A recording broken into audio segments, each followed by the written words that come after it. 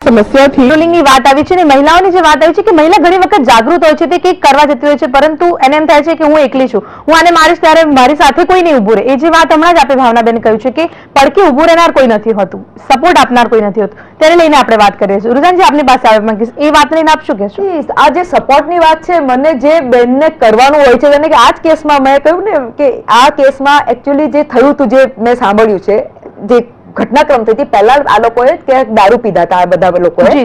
અને પછી એ લોકો મસ્તી કરવા જોય રાઈડ માટે નીકળે અને કોઈ પેલા રસ્તામાં જે પૈસા કમાઈએ. તો એ વખતે એક કોઈક બીજા ભાઈને એ લોકોએ લિફ્ટ આપી.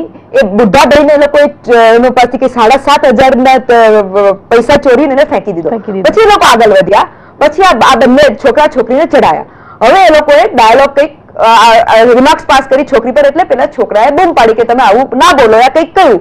એટલે પેલા લોકોએ પેલા ચાર પાંચ લોકોએ છોકરાને દંડાથી મારવા લાગ્યો.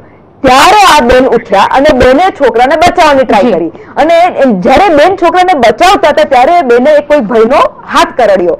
અને એ જ્યારે બેને એટલે બેનનું એમ કહેવા માંગુ છું કે બેન બહુ બહુ પોતે જાગૃત હતી ને બેન પાવરફુલ હતી. અને બેન છોકરાને બચાવવા ગઈ.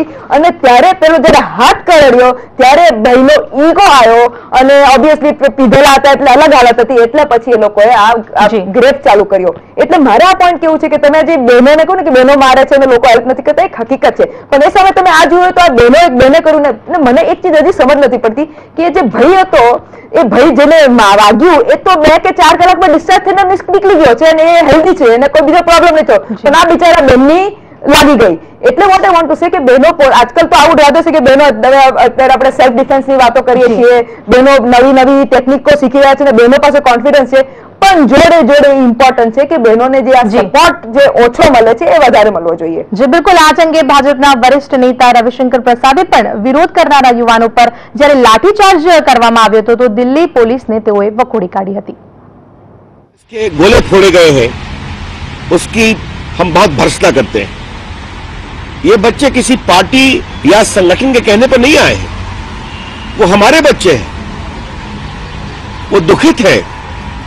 उनके अंदर क्रोध है। सरकार को समझना चाहिए। और प्रधानमंत्री क्यों खामोश है? पूरे देश में गुस्सा है इसके खिलाफ। दिल्ली के लोगों में वेदना है।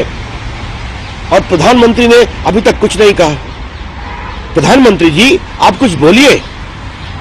और दिल्ली के बच्चों को, बच्चियों को, देश को यह आश्वस्त करिए कि आपकी सरकार इस विषय पर गंभीरता से कार्रवाई करती रहेगी और जो भय और खौफ का माहौल है इसके खिलाफ भी कार्रवाई करेगी